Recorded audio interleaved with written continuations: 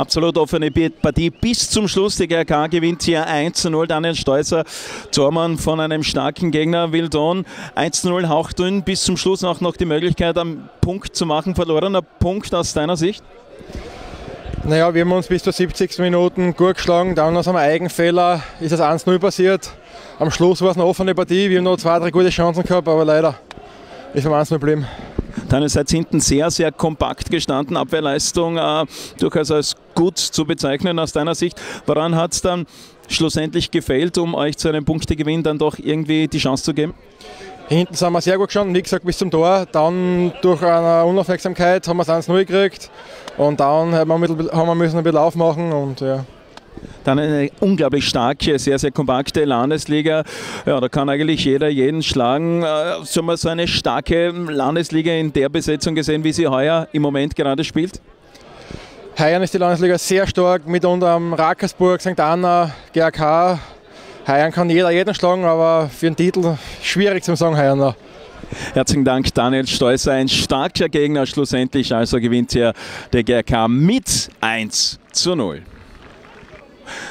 Zählen, das sind die Punkte und es sind drei geworden beim GRK im Heimspiel gegen Wildon. Es war eine unglaublich enge Partie, schlussendlich dann das goldene Tor.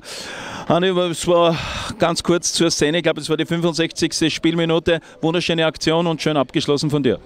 Ja, ich glaube, war ein langer Ball auf dem, auf dem Berchte. Berchte hat ihn gut eingeflankt. Ein bisschen Glück dabei, ein bisschen Können. Schauen wir mal. Vielleicht passiert es wieder. Würde mich freuen. Ich glaube, gezählte fünf, sechs ganz, ganz starke Stangelbässe sind gekommen, aber nie ein Abnehmer da gewesen. Es war unglaublich enge Partie. Woran hat es äh, dann gehakt, dass vielleicht doch nicht ein erlösendes 2 zu 0 gefallen ist? Ja, ich glaube, vor allem erste Halbzeit haben wir extrem viele Chancen gehabt, liegen gelassen. Müssen wir weiterarbeiten. Zweite Halbzeit dann, glaube ich, war man Spiel oder dominant im ganzen Spiel. Ich glaube, Wildon hat die ganze Partie eigentlich keine hundertprozentige Torchance gehabt. Wir haben es gehabt, haben es nicht genutzt, deswegen haben wir es wieder ein bisschen zittern lassen. Am Ende des Tages zählt die drei Punkte und das ist wichtig.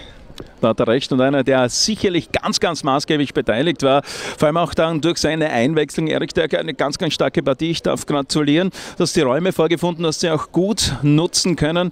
Schlussendlich aber in die letzten vier, fünf Minuten, hui, war unglaubliche Zitterpartie noch, aber es hat gereicht. Kurzes Resümee einmal von deiner Seite. Ja, ich glaube, wie der Fischi schon gesagt hat, wir waren eigentlich über weite Strecken oder besser gesagt das ganze Spiel die dominante Mannschaft. Und ja, zum Schluss ist klar, dass dann eng wird, wenn man 1-0 führt und sich hinten reinstellen muss.